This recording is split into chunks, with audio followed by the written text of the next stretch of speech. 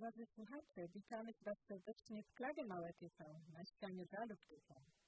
Dzisiaj chcemy mówić, jak władze kryją okropne interesy związane z aborcją.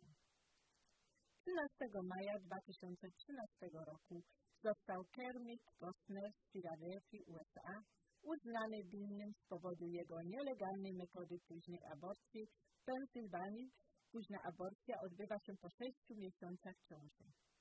Ten lekarz prowadził ponad 30 lat prywatną klinikę aborcji, w której miał on okrutnie zabić setki zdolnych do życia niemowląt przez sztuczne wywołanie porodu.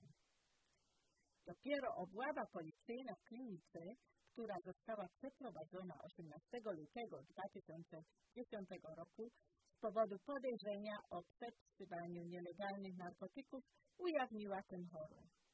Oskarżyciele nazwali tę klinikę domem zgrozy. We wszystkich poprzednich latach nie było prawie żadnych inspekcji. Z powodu nacisku ze strony zwolenników aborcji na Ministerstwo Zdrowia Filadelfii nie przeprowadzano już od 1993 roku żadnych inspekcji w klinikach aborcyjnych.